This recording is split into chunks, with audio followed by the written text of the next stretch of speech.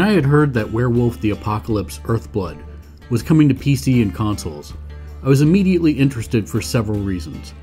First, I'm a longtime World of Darkness tabletop role playing game player and dungeon master. Back when it started under the White Wolf umbrella, up through its newest incarnations under Onyx Path Publishing. So when I heard developer Cyanide and publisher Nacon were going to create an Unreal Engine 4 adaptation, let's just say I was very ready to play the game.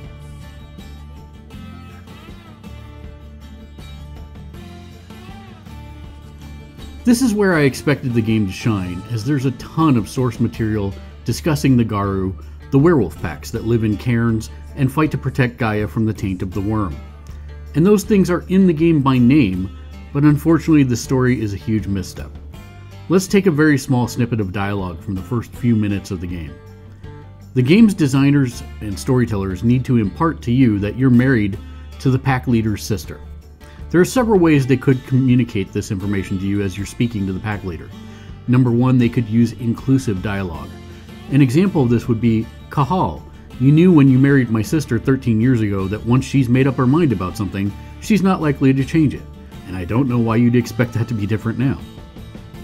Or they could use instructive dialogue.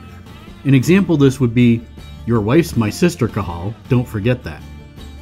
Instructive dialogue is the wrong choice here because your character's been married to her long enough to have an almost fully grown teenage daughter, and no person in their right mind would ever say that to you after the first year or two. So the game takes every opportunity to use instructive dialogue instead of inclusive dialogue, and because of that, the overall story suffers. Not to mention that Cahal has a caern but doesn't have a caern, is loyal to the pack but isn't loyal to the pack. Uh, even the very introduction is a missed opportunity to explain the lore of the game showcase why we should care about these characters and hopefully get us attached to them before bad things start happening. But it doesn't happen that way at all.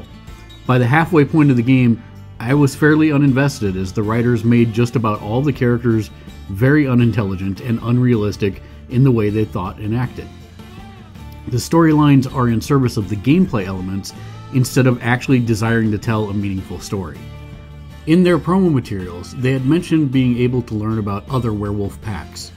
There's exactly one other tribe that you can interact with, so I guess technically they lived up to their promise.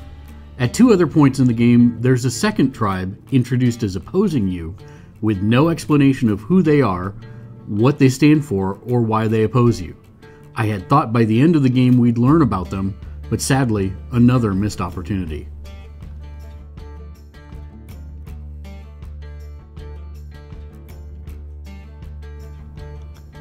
When you watch the trailers and even the intro movie, it's filled with metal, hard rock, and lots of werewolf slashing action. Don't be fooled, this is not that game. In fact, the majority of the game is a stealth game like Metal Gear Solid, but not as rewarding. To facilitate the different portions of the game, there are three modes of, of shape changing to play as Lupus, which is a wolf, Homid, which is human, and Crinos, which is werewolf. You can shift between Lupus and Homid on demand, and that's actually a good thing about the control system. Unfortunately, the gameplay loop consists of the exact same scenario for the entire game.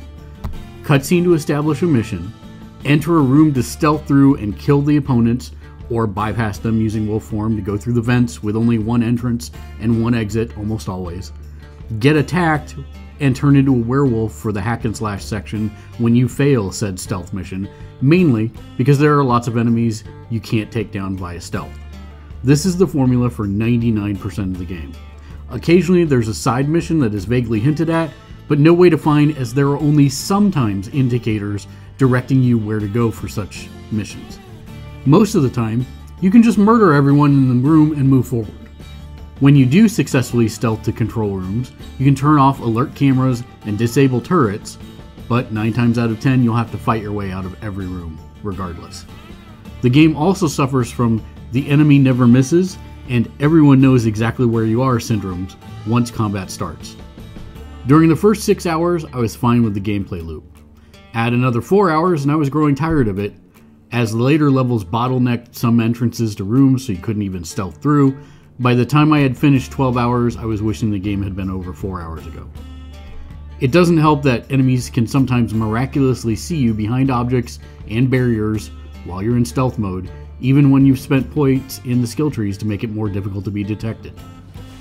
The hack and slash element becomes more difficult, and by that I mean not more tactical or thoughtful, just harder, because enemies have more health, do more damage, and gain area of effect attacks as the game progresses. There's an alternate view mode, a, rage or spirit vision, if you will, and while you can interact with spirits in this mode, there really isn't a benefit or mechanic in doing so other than smelling statues and plants to gain more skill points to invest in your skill trees. I had thought this would be a great way to differentiate the spirituality of the Garou and learn more about how they perceive the world, but instead, this was another throwaway mechanic. Did I mention you drink bottles of alcohol to fill your rage meter? I'm pretty sure Cahal is a lush. There are no puzzles to speak of, mostly find and fetch quests. The worst part of the game for me is the video game logic. Humans use guns, and you use explosives in the beginning of the game, but should we make things easier on ourselves and use some guns also, instead of purely being a close combat machine? Of course not. Why? Well, some packs in the tabletop game are adverse to using technology and man made weapons, but not Cahal. Half the time he's using computers to disable cameras, doors, and turrets. So why not just pick up a gun off of the 3,000 dead bodies in his wake? The game does have a crossbow, but it's useless as can be since anyone in line of sight of the person being shot immediately is alerted. Daniel, our creative director and also huge Werewolf World of Darkness DM player fan, slash etc., was playing the PS4 version for our second opinion section, which will be at the end of the review, when his son asked him the perfect question Dad, why does this enemy base you're infiltrating, where everyone only uses guns, have crossbow bolts lying around for you to take?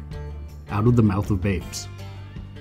Also, if I'm an evil corporation mining the secrets of the world, and I know my enemies are werewolves, and I've captured and killed many werewolves and know their powers of shapeshifting, why would I build wolf sized holes into my air duct system in every building and facility I own, even at sea?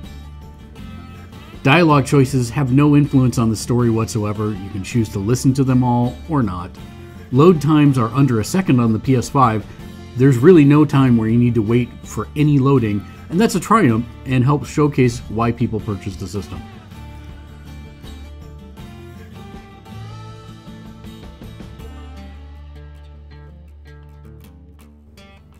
On the PS5, there are moments moments where you have the full moon in front of you and Cahal's highest polygon count out of all of the characters, and you could say it looks good.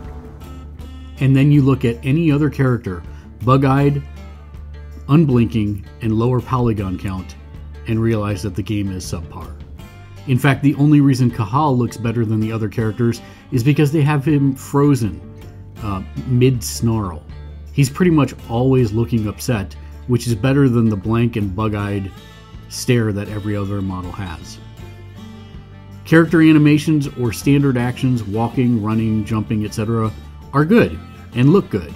However, sometimes characters will point or make a motion and their hands bend backwards at unnatural angles.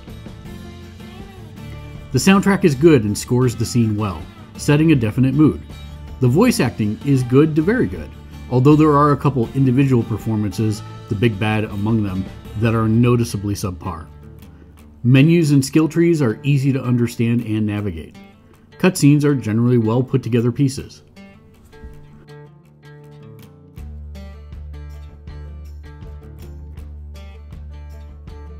While this review may seem less than positive, I'd like to commend the developers. I can see the game they were striving for in the design elements in their finished product. I hope the game sells well enough that the developers can take what they've learned from this release and have another at bat. The IP has a rich, deep lore that's barely been scratched with this game. The combat mechanics are fun to a point, and the seamless transition between wolf and man is a unique feeling mechanic that does become like second nature as you play. And if I was a kid or someone receiving this game as a gift, I would not be upset. I myself have played many games over the years that critics did not like and considered them guilty pleasures, or also what I could afford at that point.